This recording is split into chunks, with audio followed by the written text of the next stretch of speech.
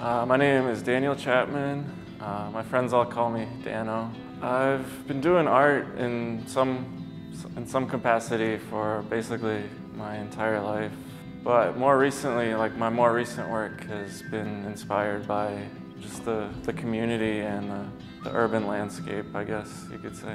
Uh, growing up in Lynn has been great. I, I think it's a good place to be an artist. There's, there's so much to be inspired by here, so many cool and diverse people.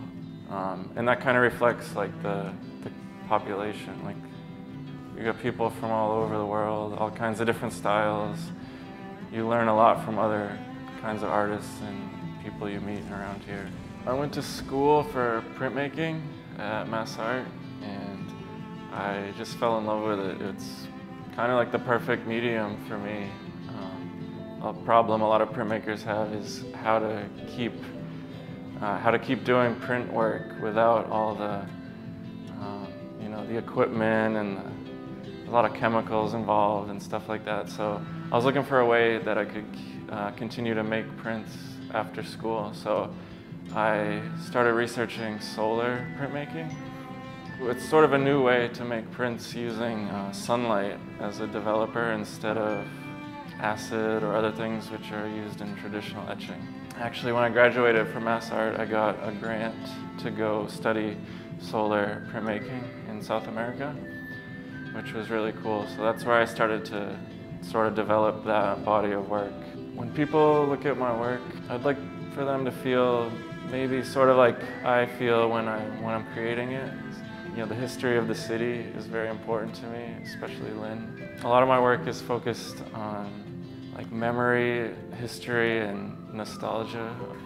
So I try to, I try to document the places I've been, you know, just like a moment in time and everything's constantly changing and uh, I think it's important to remember the history and what came before us, and that all shapes the present and in turn the future.